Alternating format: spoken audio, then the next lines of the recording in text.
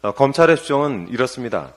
이재명 당시 경기 도지사의 방북 비용 70만 달러는 어, 필리핀 마닐라에서 김성태 쌍방울 회장이 북측의 리호남이라는 어, 대남 공작원에게 전달했다는 겁니다. 2019년 7월 필리핀 마닐라 콘레도 호텔에서 열린 제2차 아시아 태평양의 평화와 번영을 위한 국제 대회를 계기로 그 돈이 오갔다. 이것이 어, 검찰이 쓴 시나리오의 핵심입니다. 그런데 정작 돈을 받았다던 리호남은 필리핀에 없었습니다.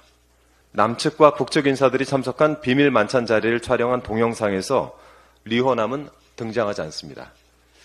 어, 이재명 지사의 방북과 관련한 언급도 일절 없었다는 것입니다. 국제대회를 총괄했던 김모 대표가 수차례 cross check를 한 결과에 따르면 그 어떤 직원도 리오남을 보지 못했다고 합니다.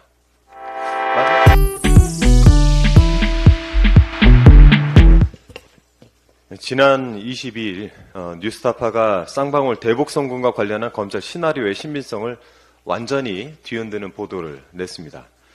어, 검찰의 주장은 이렇습니다. 이재명 당시 경기 도지사의 방북 비용 300만 달러는 세 차례에 걸쳐서 지불됐는데 첫 번째 지불 즉 70만 달러는 어, 필리핀 마닐라에서 김성태 쌍방울 회장이 북측의 리호남이라는 어, 대남 공작원에게 전달했다는 겁니다. 2019년 7월 필리핀 마닐라 콘레도 호텔에서 열린 제2차 아시아 태평양의 평화와 번영을 위한 국제 대회를 계기로 그 돈이 오갔다. 이것이 어, 검찰이 쓴 시나리오의 핵심입니다. 그런데 정작 돈을 받았다던 리호남은 필리핀에 없었습니다. 어, 뉴스타파는 그 근거를 세 가지로 제시를 했습니다. 첫째, 남측과 북측 인사들이 참석한 비밀 만찬 자리를 촬영한 동영상에서 리호남은 등장하지 않습니다. 어, 이재명 지사의 방북과 관련한 언급도 일절 없었다는 것입니다.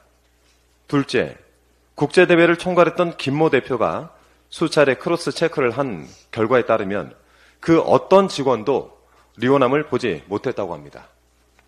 마지막으로 북측 인사 6명의 필리핀 비자를 발급하는 과정에서 시행된 각종 문서 그 어디에도 리호남의 이름은 없었습니다.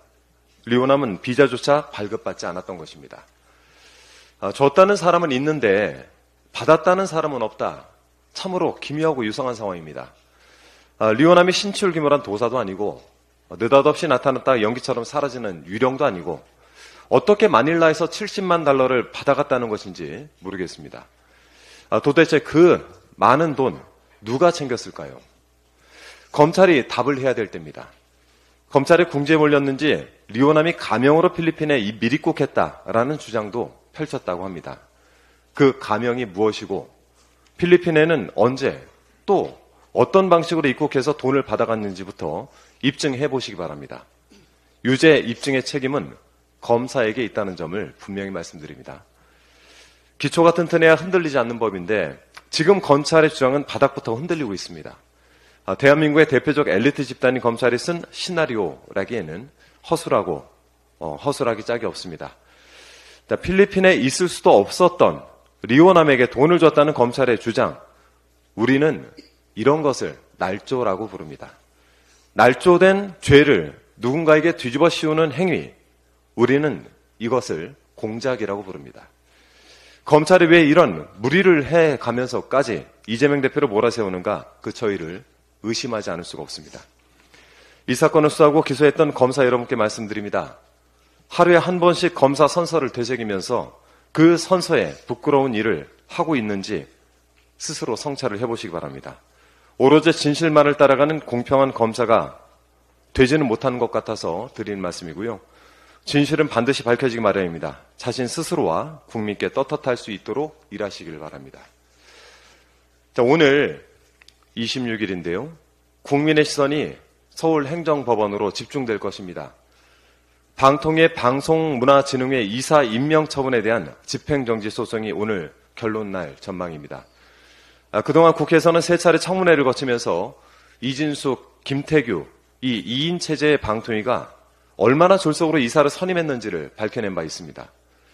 83명 후보를 불과 1시간 반 만에 심의한 점, 후보들의 당적조회도 제대로 거치지 않아 결격 사유 여부를 면밀히 확인하지 못한 점 등 문제적 사안들이 차례로 밝혀졌습니다. MBC를 지켜내야 한다라는 이 마음가짐으로 어, 이렇게 무너지게 둘 수는 없습니다.